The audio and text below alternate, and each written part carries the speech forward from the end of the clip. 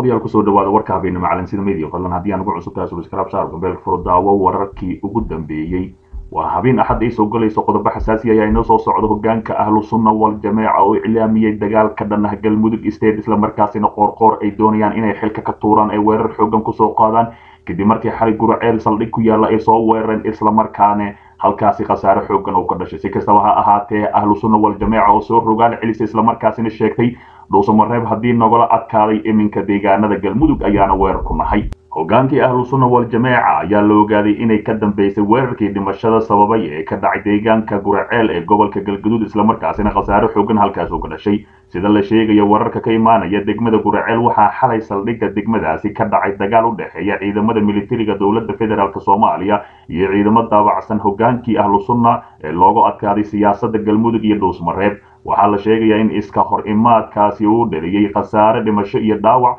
islamarkaasina ciidamada taabacsan ahlu sunna wal jameeca ay dib ugu laabteen deegaanadii ay ka soo duuleen. Islamarkaasina iminka isku abaabulayaan inay dib ugu soo laabtaan warar soo baxaya ayaa sheegaya in hogaanka sare ahlu sunna wal jameeca looga adkaaday siyaasadda galmudug ay haatanna wadaan abaabul ka dhan ah dowladda dhexe iyo galmudug oo hogaamiyey madaxweyne qoorqoor islamarkaasina aad uga soo horjeeday markii hore. Si kastaba ahaatee siyaasiyad siyaasadii galmudug ay ku lahaayeen ururka ahlu sunna wal jameeca ayaa gebi ahaanba dhulka hoose lagu duugay islamarkaasina gebi ahaanba isaga carareen. Si kastaba ha ahaatee iminka ayay doonayaan inay isoo rogool celiyaan islamarkaasina weerar xoogan ay ku soo qaadaan ahlu sunna wal jameeca ayaa caddaysay in aysan jirin wax heshiis ahi oo dhex maray iyaga iyo dowladda federaalk soomaaliya ama maamulka madaxweyne axmed cabdi kaariyo qoorqoor oo iminka dhuusamareeb ku sugan war-saxaafadeed uu soo saaray sheekh shaakir maxamed cali xasan oo ka mid ahaa hogaanka sarsare ee ururkaasi ayaa eedeymo badan loogu soo jeediyey dowladda federaalk soomaaliya iyo maamulkaasi si kastaba ha ahaatee qodobo ugu waaweynaa mid ka mid ah ayaa waxa uu yidhi galmudug waxaa ku soo duulay xagjiriin iyo ururka daacish taas oo ula jeedo kuwa iminka talada haya ee u hogaamiyey madaxweyne qoorqoor lama oga waxa xiga ay fali doonaan maadaama iminka is aruursanayaan taas oo laga cabsi qabo inay mar kale saldhigga gulaceel ay ku soo duulaan islamarkaasina aad u qabsadaan. Sigasabaatee wararkayna xiga ayaan ku soo tabin doonaa fadlan nala joog. Dhinaca kale dowladda federaalk soomaaliya oo xil sare u magacaawday doctor fujet dowladda soomaaliya ayaa doctor maxamed maxamuud cali fuje u magacaawday talobixiyaha caafimaadka ee caan sagaal iyo toban dalka dhakhtar maxamed maxamuud fuje ayaa hadda kadib hogaamin doona ololaha ka hortaga xanuunka toban waxaana la sheegay in madaxda dowladda ay ka dalbatay in uu soo dhiso shabakad ay ku midaysan yihiin dadka aqoonta u leh cudurka faafa ee loola tacaalo khataraha cudurka caan sagaal iyo toban oo ku haya soomaaliya. Doctor fuje waxa uu wax ku bartay kuliyadda kuliyadda daawada ee jaamacadda soomaaliya iyo cudurrada kulaalaha ee london iyo shahaado sare oo uu ka soo qaatay jaamacadda royal. Magacaabista fuje ayaa imaanaysa iyadoo ay faafitaanka cudurka boqol sagaal iyo toban ee gudaha soomaaliya gaar ahaan magaalada muqdisho uu yahay mid si xawliya u socdo oo u muuqata inuu si weyn ugu dhex faafay cudurka bulshada ku nool gudaha magaalada muqdisho wasiirka caafimaadka soomaaliya ayaa caawa sheegtay inay korartay kiisaska cudurkaasi ee gudaha dalka uu gaaray boqol soddon iyo shan qof kadib markii maanta ay wasaaradda cudurkaasi ka heshay sagaal iyo toban qofood. Sida warbixinta lagu sheegay wasiirka caafimaadka ayaa sidoo kale sheegtay inay maanta ay soo korortay laba qof oo dhimasho ah. Midaasi tirada guud ee dhimashada dalka ee cudurka toban ka dhigaysa ilaa toddoba qof. Sigasaba ha ahaatee arrintani ayaa iminka cabsi xoogan laga qabaa faafidda cudurkani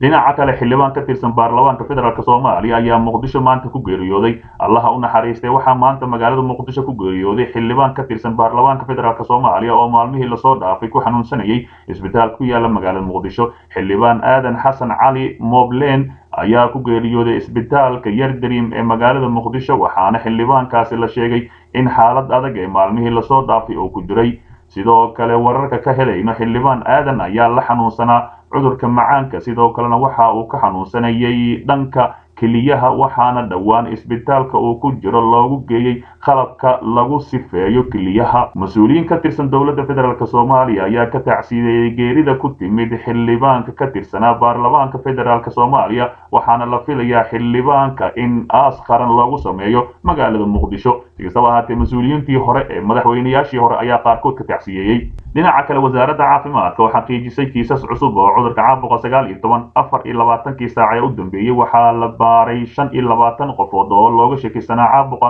Caabuqa sagaal iyo toban sagaal iyo toban sagaal iyo toban ka mid ah ayaa laga helay cudurkani sagaal iyo tobanka qofood ee maanta cudurkani laga helay shan iyo toban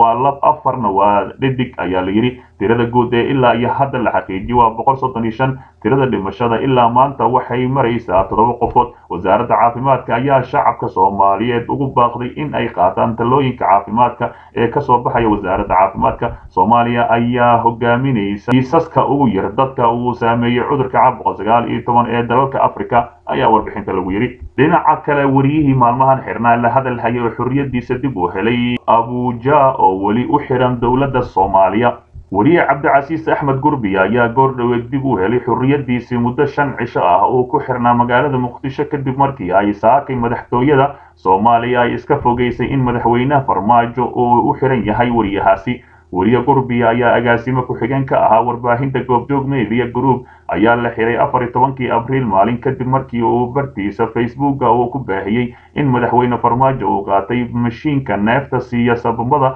marka ay shaqada gabiyaan ee loo yaqaano mashiinka sababada sababada neefta siiya isbitaalka martini madaxtooyada soomaaliya ayaa horey iskaga fogeysay in gurbiya uu xiran yahay farmaajo xilli ay warbaahinta uu ka tirsan yahay ay sheegtay inuu u xiran yahay madaxweyne farmaajo. Midaasi oo shaki gelinaysa in xeer ilaalinta ay si iskeed ahayd dacwadda ugu soo oogtay weriye gurbiye dhinaca kale weriye maxamed cabdiwahaab abuja oo ka mid ah wariyayaasha ka howlgala muqdisho ayaa isagana xiran muddo ku siman soddon iyo kow cisho iyada oo la sheegay inuu u xiran yahay dowladda xilli xilli uu baahiyey faalo la xiriirta dhac faalo la xiriirta dhac ay ciidamada dowladda ka geysteen magaalada muqdisho. Abuja ayaa abuja ayaa faaladaasi uu ku soo bandhigay dhaca iyo ciidamada ka tirsan dowladda soomaaliya ay u geysteen shacabka ku nool magaalada muqdisho. Uu baahiyey afar iyo labaatankii bishii labaad ee sanadkani midaasi oo hore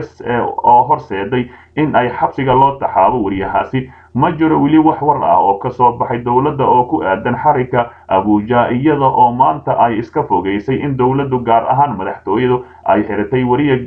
gurbiye oo isaguna hore u baahiyey inuu madaxweyne farmaajo isbitaalka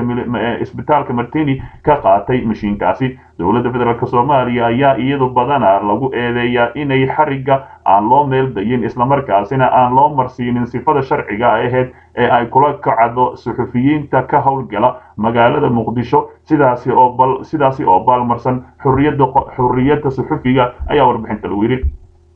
si kastaba ha ahaatee suxufigaani ayaa iminka la soo deeyey islamarkaasina xurriyadiisa dib uu helay halka mid kale oo faafiyey in ciidamada dowladda federaalk soomaaliya ay dhac xoogan u geysteen shacabka soomaaliyeed oo ilaa iminka soddon iyo kow cisho oo ku xiran yahay xabsiyada magaalada muqdisho ee uu maamulo madaxweyne farmaajo